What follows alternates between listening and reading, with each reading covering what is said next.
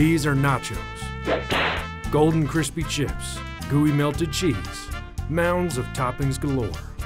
They are delicious. They're named after a man, a man named Nacho. This was Ignacio Anaya, known to friends and foes alike as Nacho. In 1943, Ignacio was a maitre d' at this restaurant, the Old Victory Club, in Piedras Negras, Mexico, a border town a jalapenos throw from Eagle Pass, Texas, home of Fort Duncan, an army base filled with military men and families. One day, a group of army wives crossed the border. They shopped. They got hungry. They went to the Victory Club. The chef wasn't there. But Ignacio, maitre d', didn't want to turn the women away, so he sprang into action, grabbing tortillas, shredded cheddar cheese, and jalapenos. Put his creation into the oven. Pensively, he served it to the army wives. They loved it. Returning to Texas, they spread the E El Evangelio del Nacho, the gospel of the nacho.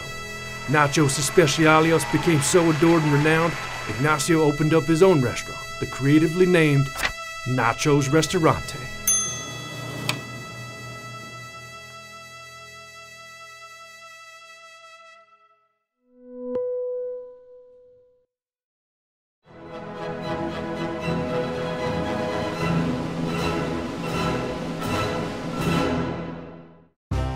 The creation of the potato chip is a rather snarky, surprising, and idiosyncratic story.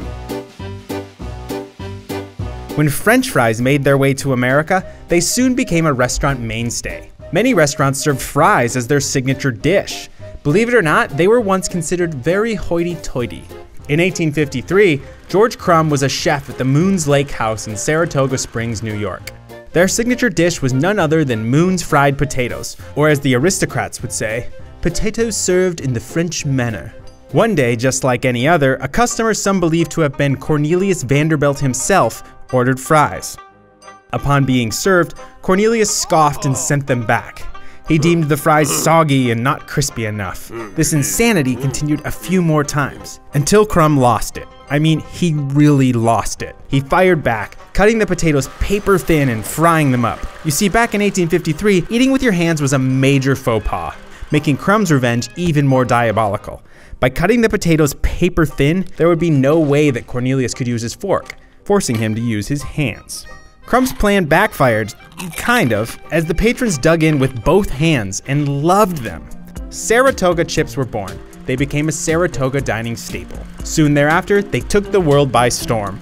Crum himself even opened his own restaurant with baskets of chips displayed on each and every table.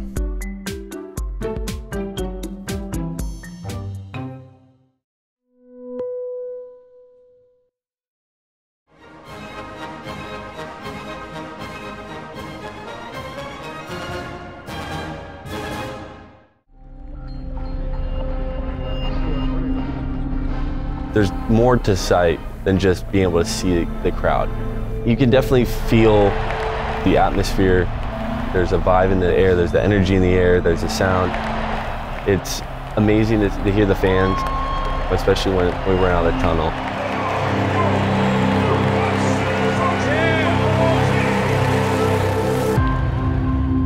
I'm Jake Olson. I'm the long snapper of the University of Southern California Trojans. I'm completely blind. I, I have no eyes. I went into playing football with the mentality that I had nothing to lose. Long snapping is an art. You definitely have the mechanics, but a lot of it's just feel, feeling that ball come off your fingertips in a spiral, how hard you're throwing it, you know, where you're releasing it, just kind of getting that velocity and, and that and the accuracy. Set. There we go. Life's unfair, football's unfair, but at the same time, it's up to you of how far you want to take yourself.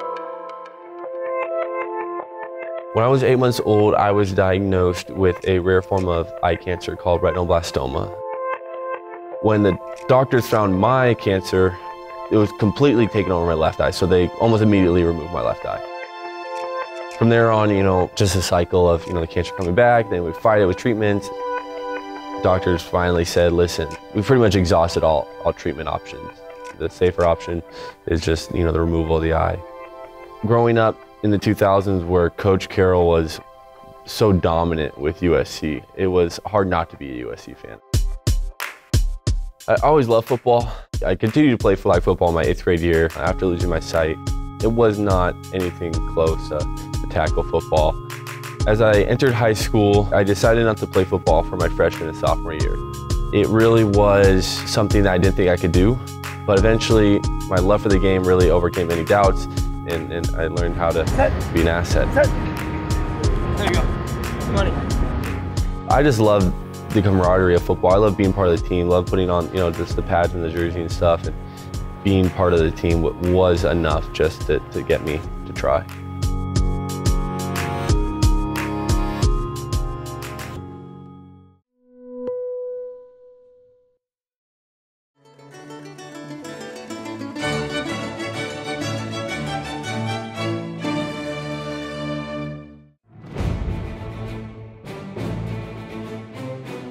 How many people have the opportunity to be a world champion at anything?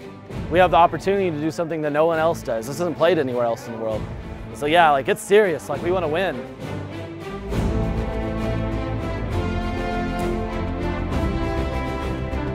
We're here to watch unicycle football. It's football on unicycles. We stick to NFL rules as closely as possible. Except there are a few exceptions because we're riding a unicycle. We play five on five, two receivers, a blocker, a center, and a quarterback. Everything has to be done on a wheel. The second your foot touches the ground, you're done. Each team plays 14 games. There's 56 regular season games total, then wild card playoffs, then playoffs, and then the Super Bowl. Every Sunday, some people have been doing this for 10 years now. My team, the Blackouts, we're undefeated and we're gonna be playing the reigning champs, the Herons. Bulldoze them over. Bulldoze them. This game is very important because we want to maintain our undefeated status leading up to the Super Bowl. They're definitely gunning for us. They're practicing just for us. I think that a lot of times people come to this game, what shocks them is the level of play. We're crashing at 15 miles an hour. It's not a joke. Some people get seriously injured. Most people learn to ride unicycle because they came and witnessed this event and they're like, I've got to do this. Once you catch that first ball, once you get that first rush, once you hear the crowd scream your name once, that's a feeling you can't get anywhere else. That's almost like a religion church to us here. There's passion, you know? It's a show, it's a spectacle, it's also a sport. I've cherished every minute of it. It's, you can't replace it with anything. There's nothing else like it at all.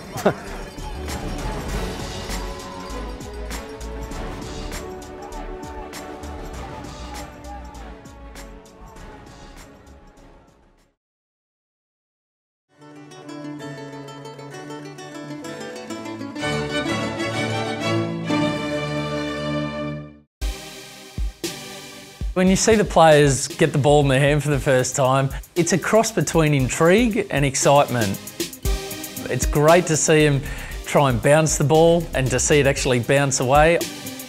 It can make the best of people look really, really silly.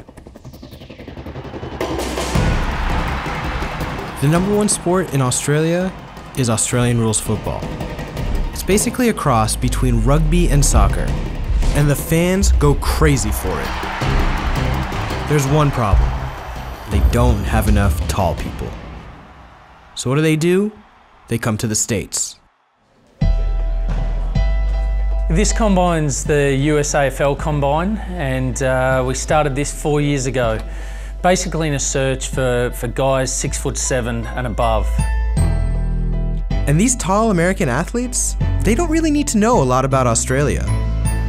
The home of the kangaroos, I, I think. I know there's a lot of kangaroos. I hear a lot about kangaroos and spiders and snakes. In selecting these athletes, we predominantly look for guys that are hungry. Most of the participants predominantly come from basketball. The concept of basketball in terms of the athlete being in traffic and having spatial awareness and those sorts of things is really transferable to our game.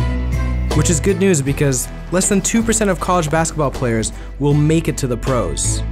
The Australian Football League gives them another chance to live out their dreams of being a pro athlete. Most of the participants are quite shocked when they see the game for the first time. The question is, what do the athletes think of all this? When I got the combine invite, I thought it was fake. Actually, I thought it was a scam. First thing I thought, I thought it was a scam. I thought they was uh, contacting the wrong person, actually. What is Australian football? Skepticism aside, how do you teach these guys a game they never even heard of before? So the combine kicks off in the early piece with the physical testing and then start to build into the skills. The basics of handballing, the ability to see what they're like with their hands. Then we can start to get into the more competitive stuff where they might crash and bash into each other, which they love that.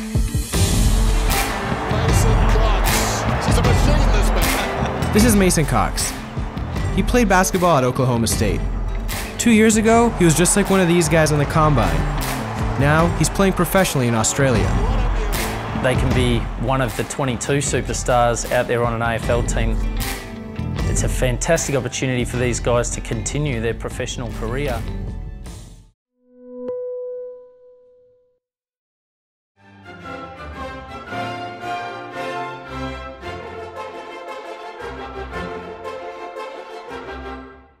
Okay, squad, listen up. There's more than one way to end a game of sports ball. There's the walk-off home run, the sudden death goal, the buzzer beater. But within the adrenaline-addled psyche of the American sports fan, can any of them produce a heart attack like a successful Hail Mary pass? Don't answer that. It's rhetorical. Why are Hail Marys special? Because they're unicorns. Since 1975, there's only been 28 of them in professional football. Why? Because they're almost impossible to get right. To complete a Hail Mary, the pass needs to be long, like thrown from midfield long, with little or no time remaining on the clock. And you need to be losing, and the pass must lead to a touchdown that results in at least a tie, but preferably a win. That is a Hail Mary. Most quarterbacks are likelier to marry a supermodel than to throw a successful Hail Mary in their career. Exhibit A Tom Brady. So, how did this play, which practically requires an act of God, come to pass? See what I did there?